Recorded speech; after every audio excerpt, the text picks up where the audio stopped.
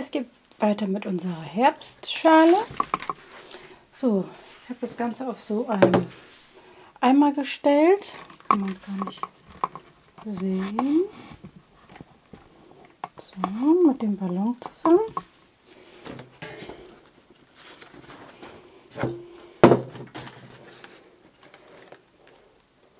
So, jetzt lassen wir da mal die Luft raus. Boom. So, das ist dann so die fertige Schale. Gucken. Ein bisschen. Jetzt kann man es besser erkennen. So, eine schöne Dekoschale. Könnt ihr das äh, auf den Tisch stellen und ein paar Sachen reinlegen. Ähm, ich habe noch eine Idee und zwar könnt ihr das auch ähm, als Lampe benutzen oder als Deko irgendwo hinhängen. Dann müsst ihr einfach ähm, unten am Boden ein kleines Loch reinmachen mit der Schere. Dann nehmt ihr euch Faden, einen dicken Faden so, Wolle habe ich hier und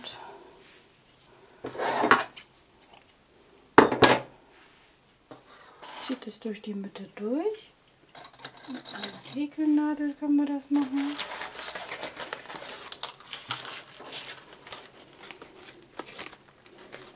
Den Faden holen. So. Und von innen macht ihr einen Knoten, dicken Knoten rein.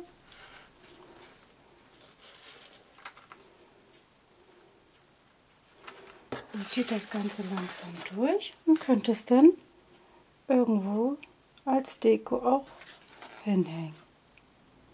Herbstdeko. Auch eine tolle Idee.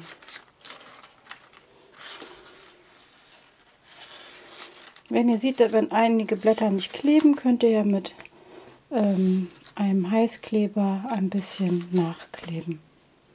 Viel Spaß beim Nachmachen.